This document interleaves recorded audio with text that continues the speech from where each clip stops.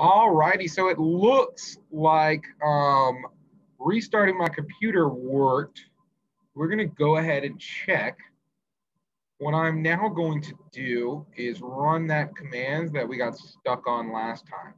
So I'm gonna copy that, I'm gonna go over to this terminal and I'm gonna paste that in there, which it's not pasting for some reason.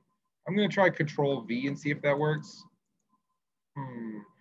I'm gonna try opening up another version of PowerShell, but this time I'm gonna right click it and run it as an administrator. It's a little buggy, I know, this is a weird, this is the weird part of the install, uh, definitely. So I'm gonna go ahead, copy that. There it goes, it pastes in there. And WSL2 requires an update to its kernel component. So I think what I'm actually going to try and do is look back at some of the previous commands and see if maybe I can uh,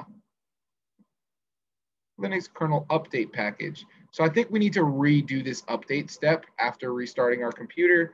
Um, I probably shouldn't have done it in that order. I probably should have restarted my computer at some point and whatever. It is what it is. We're gonna click on that package and run it again and see if that fixes it.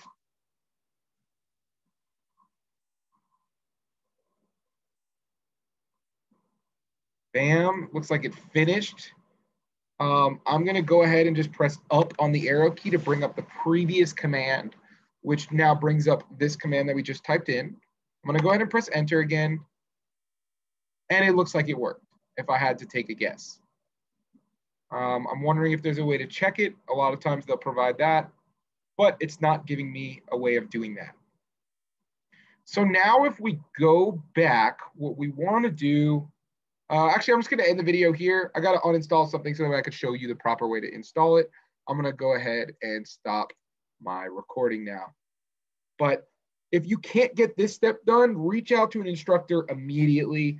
This is like a weird part. And a lot of this stuff is kind of weird. And I want you all to reach out in, especially in the tech questions channel, uh, the, the technical help channel, and ask as many questions as possible. So that way everyone can, maybe you're running into the same error as someone else. And if you're running into that error, someone else wants wants to see and can learn from that information.